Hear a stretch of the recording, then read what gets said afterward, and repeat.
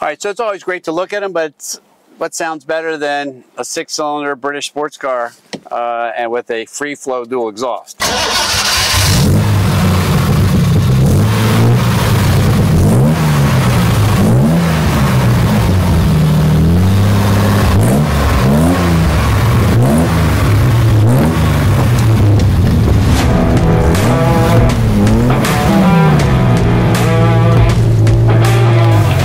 Everybody. I'm Tony Fleming from Fleming's Ultimate Garage. Thanks for joining me today on what I call the collector car series. And you say, Tony, well, how can you know what a collector car is versus like a regular classic car? And I say, what good question. Thank you for asking. Anyway, when I talk about collector cars, I talk about things that uh, are continually going up in value, right? They're like blue chip investments, blue chip stocks, right? They're the, the simple fact you can buy a car like this and over time it has been going up.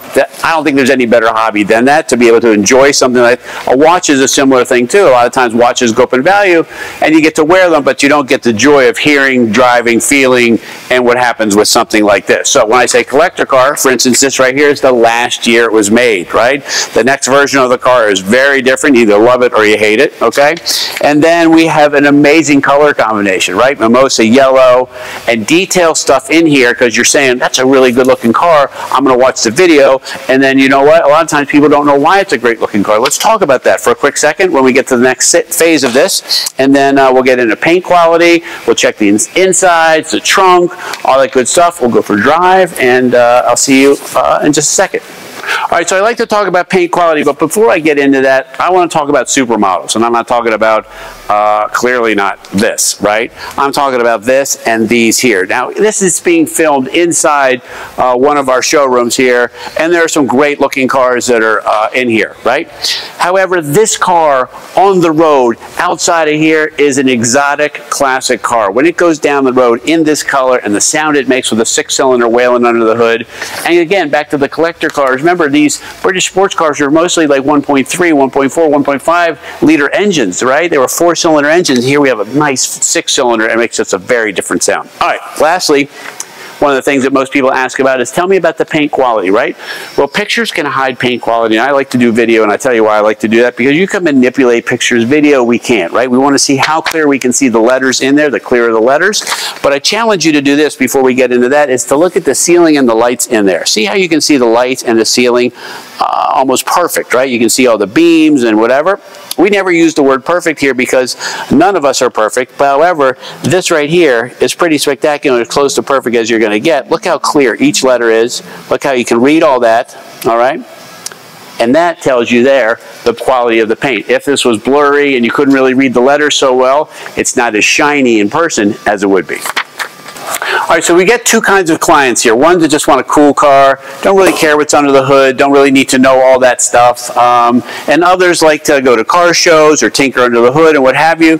This gives you the best of both worlds. Here's why. This car is ready to drive, ready to enjoy this weekend. It's got a green sticker on it. That means it's certified and it's ready for delivery. Secondly, uh, if you did want to enjoy some of the um, as I as I struggle to get this open. and the funny thing too, real quick, like why is this over here when I'm coming over there, right? Because this is an English car. and English cars are right-hand drive, and so some of the things you'll see around the car are still English places. Anyway, this right here allows you to go ahead and put the hood up. Decals, right? If you want to show this car, it looks great because this has all been painted, detailed. It's not spray bombed black or spray bombed uh, incorrect colors. Uh, this has lots of receipts with it. It has uh, power disc brakes. I mean, it has modern things that make for a great driving car. And, and, wrapped up in here is also some pride in opening the hood if you wanted to. Even if you don't really care what's under the hood, a friend may ask you or whatever, you want to be able to, to have some pride in that, and this is exactly what you get here. All right, so like the little things, like the new decals and bumpers being polished, and uh, how nice the wood dash is. Like you can see all that from behind, and it makes for a great looking car. Uh, a lot of people will see it, and you can see the dual exhausts that are on here.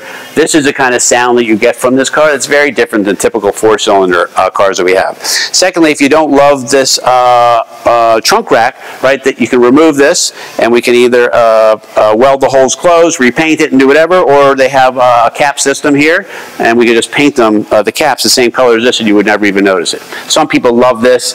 It's It's a styling feature. There's plenty of room behind the seats for soft bags as well if you want to go away. The trunk holds lots of bags too. This is more uh, just in case you wanted to put the kids there if they were bad and you want to put some bungees on them. I'm just kidding. I'm not suggesting that. Anyway, uh, what you do want to see is okay? Uh, here, there's plenty of room in here for uh, the soft bags we talked about. Under, under here is a full-size spare tire as well, right? A lot of times we don't get cars with spare tires, and it's all in there. And one of the things I do notice is this is original paint that's inside this trunk. That's a good sign. Why is that a good sign? Well, first off, we know it was originally Mimosa yellow. And secondly, that means that this car here, it doesn't have 500,000 miles on it, right? It's, it's a well taken care of collector car uh, with some updates to it, and that's probably why it drives so well. All right, so you're walking up to your car, you drove it to work on a Friday, and you're saying, man, I love this car. It sounds great. It looks great. But you know what you really care about is what it feels like inside there. So let's do that right now. Let's get inside and see, you know, how uh, how bigger people get in these cars, right? So I'm 6'1". I got plenty of room in here. Seat probably can go back a little bit more as well. Do that. All right, and then reclines.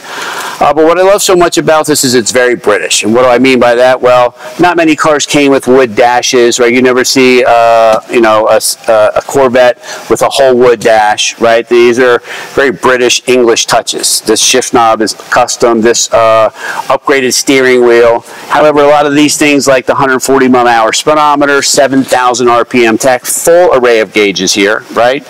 Uh, and it's modernized too. It's got a nice top that works. The windows roll up. It has wipers. Like if you get jammed somewhere in the rain, it's like this car could drive in the rain. It's not so sensitive uh, that it can only be taken out at the very best of times. It does have an upgraded audio system. You may like to put the stock system back in here and we could hide that in the glove box if you wanted to. Uh, some people love that uh, all original dash. Other people like having their music right here and stream from your phone and what have you. And just think about this. You're just driving. And here's what I say about that.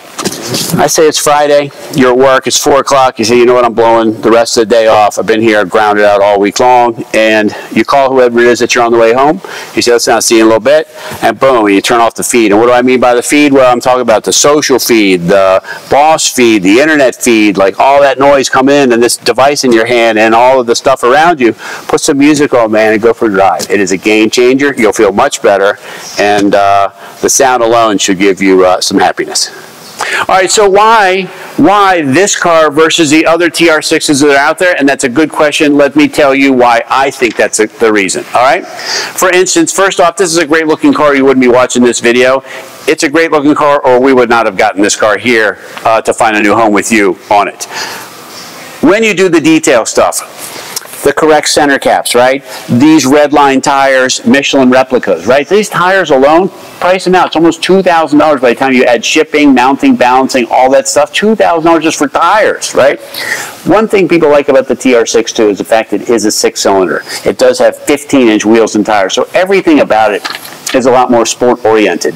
The polished stainless and chrome, this front spoiler that's here, the driving lights that are there, great colors, the interior we looked at is awesome, and it's a functional car, a functional classic sports car that you can enjoy all the time, and if you get jammed in the rain, so be it, right? You got a top that goes up, the windows go up, but whatever. It's not just a fair weather only car with no top, ah, I got to pull under a bridge somewhere. This right here is designed to go away for the weekend, go to a winery on a Sunday, go to dinner in this car, do something, man. It's a game changer. Anyway, call us 301-816-1000. We'll tell you all about this uh, last year Triumph TR6. And if you don't mind, uh, hit the like button down there below. That helps get our message out. I really appreciate that. Share it with your friends. They might like it as well. And don't forget to subscribe to the channel. We got new stuff coming out all the time. All right, so it's always great to look at them, but what sounds better than a six-cylinder British sports car uh, and with a free-flow dual exhaust?